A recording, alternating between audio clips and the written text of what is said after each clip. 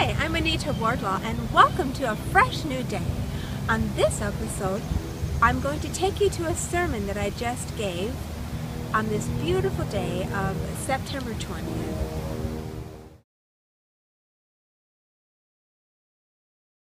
Uncommonly good responses get uncommonly good results. In Ephesians 5, 15 to 24 it says, that none render evil for evil unto any man, but ever follow that which is good, both among yourselves and to all men. Rejoice evermore. Pray without ceasing. And everything give thanks. For this is the will of God in Christ Jesus concerning you. Quench not the spirit. Despise not prophesying prove all. Hold fast that which is good. Abstain from all appearance of evil. And the very God of peace sanctify you wholly. And I pray God your whole spirit and soul and body be preserved blameless unto the coming of our Lord Jesus Christ. Faithful is he that calleth you, who also will do it. Do what? What has God called you to do? He has called you to love him and to love people. He said the greatest thing you can do is to love God above all and to love your neighbor as yourself. Brothers and sisters, look at the person to the side of you and say, Good morning. Now look at the person on the other side and say, I love you. You know that we are to mean what we say. And we are to say what we mean, but we're only to say what God tells us to say. Amen?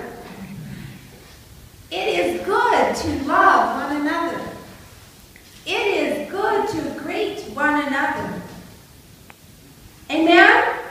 Amen. An uncommonly good response will come when you give an uncommonly good word to another person. An uncommonly good result will come when you respond to God's gift of a day, every day, with an uncommonly good response. When you wake up and say, Thank you, God, this is the day that you have made. I will rejoice and be glad in it. Then, my friend, you will get what you say.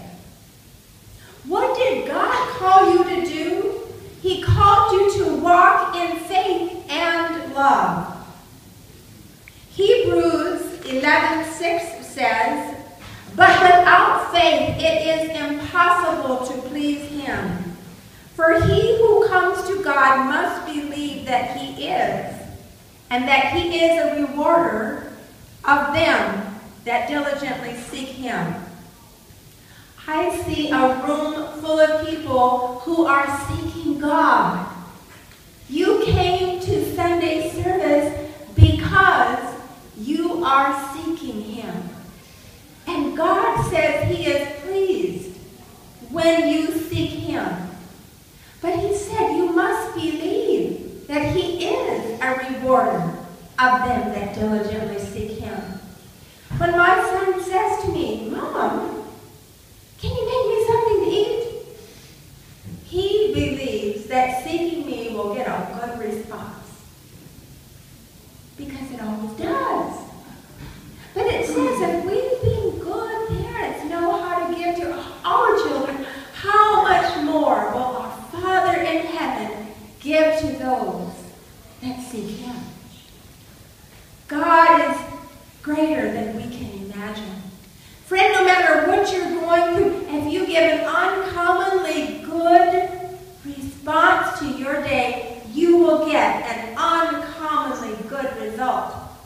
The world might be going about worrying about this and worrying about that. You might hear this in the news.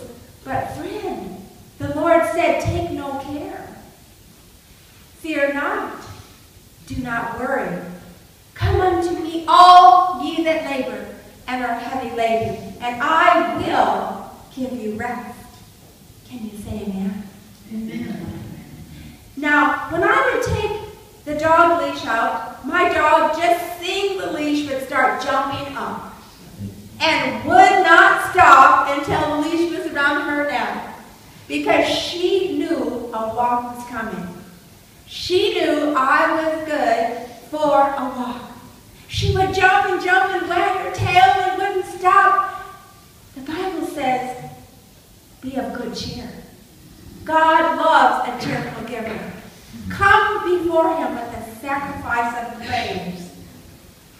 What we were just doing, worshiping him. When we come before the Lord with joy and thanksgiving, we always get a good response. If two farmers were given enough seed to plant a field, and farmer F takes an apathetic approach, complaining there's too much bad weather that he experienced the year before, and takes a little bit of that seed and throws it to the wind, you can be certain that farmer will not get a good harvest. How many of you were raised on a farm? So you know that farming requires hard work. But hard work will give you a good result. If the other farmer, farmer A plus, who might be in worse agricultural conditions, diligently plants all the seed and tends all the fields and works even when there are storms, that farmer will get a harvest. Amen? Amen. Because God said the Bible is like a seed. We plant it in our heart, and it's watered by us hearing and hearing and speaking out of our mouth things that agree with what God said. Galatians 5 6 says, For in Jesus Christ neither circumcision availeth anything, nor uncircumcision, but faith which worketh by love. What is love? Love is consistently trusting God and acting the way God asks us to act. He asks us to walk in love. It says in the Holy Bible, in 1 Corinthians 13, 4 to 8, that love, or in the King James it says charity, that's the same word, suffereth long and is kind. Love envieth not. Love does not vaunt itself, is not puffed up, doth not behave itself unseemly, seeketh not her own, is not easily provoked, thinketh no evil, rejoiceth not in iniquity, but rejoiceth in the truth, beareth all things, believeth all things, hopeth all things, endureth all things. And it says that love or charity never faileth. Now, what does that mean? It means enduring, believing that God's promise is true. If I told my son, I am making a hamburger for you, no matter how long it takes, he's going to say, Where is it? Because he's going to believe it's coming. Amen? We must believe God no matter what we see, what's going on, what the wind looks like. We've heard the story in Matthew chapter 14, verses 22 to 33, where Jesus came walking on the water, and the disciples wondered, Who is that? And Jesus said to Peter, Come. As long as he kept his eyes on Jesus, he was fine. And he could walk the water. Amen? As long as we keep our eyes on Jesus, we are fine. In Acts chapter 16, verses 16 to 40, when Paul and Silas were in jail, they had an uncommonly good response. It says that they prayed and praised God. Now, it might be very common for someone who was in jail to pray, but not as common to rejoice at it. Amen? But they had an uncommonly good response. It says in verses 16, it said, let's see, where are we?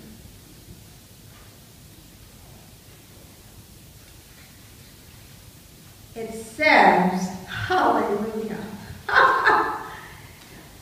that they praised God so loud that the whole jail heard them.